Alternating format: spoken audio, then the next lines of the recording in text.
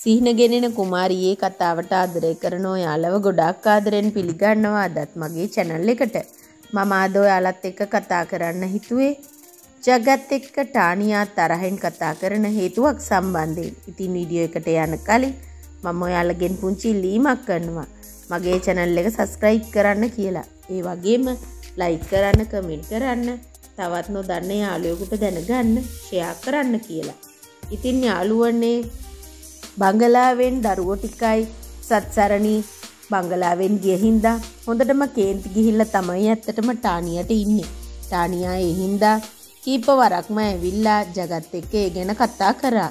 ඊටත් වැඩිය ජගත් එක්ක තරහෙන් කතා කරපු හේතුවක් තමයි සත්සරණි ජගත්ගේ කවුද කියලා.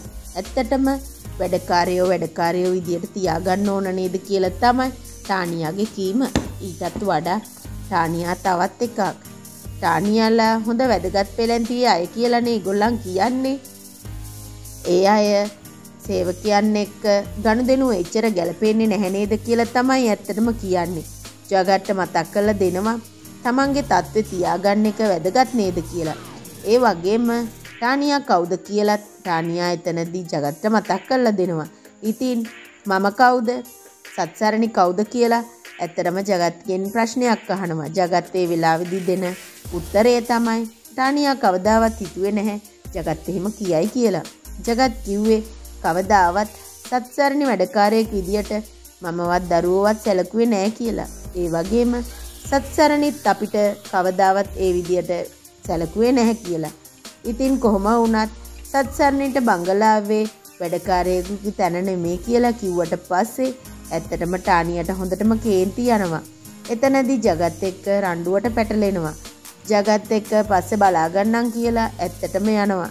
ජගත් කල්පනා කරන්නේ ඉතින් මේ විදියට ටානියා නිතරම එයත් එක්ක පැටලෙන හින්දා සත්සරණිට මොකක් හෝ ප්‍රශ්නයක් මේ ගොල්ලන් ඇති කරાવી කියලා.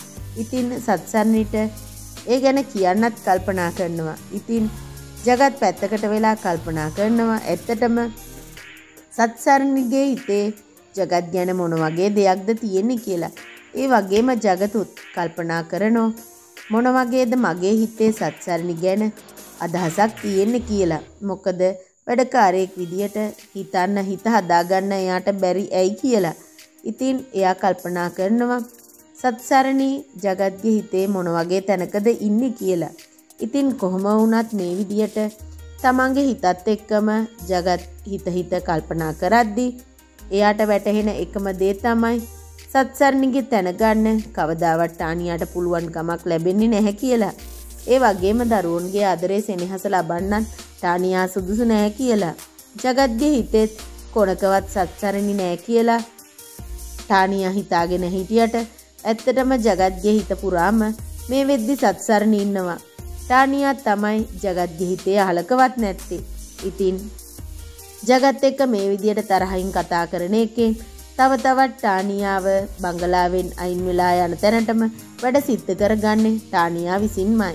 ඉතින් ජගත්ගේ හිතේ කිසිම පැහැදීමක් ටානියා ගැන මේ වෙද්දි නැහැ. ඉතින් මේ ගැන ඉදිරි කතා කොටස්වලදී අපිට දැනගන්න පුළුවන් වේවි. ඉතින් ඔයාලට සුබ දවසක්.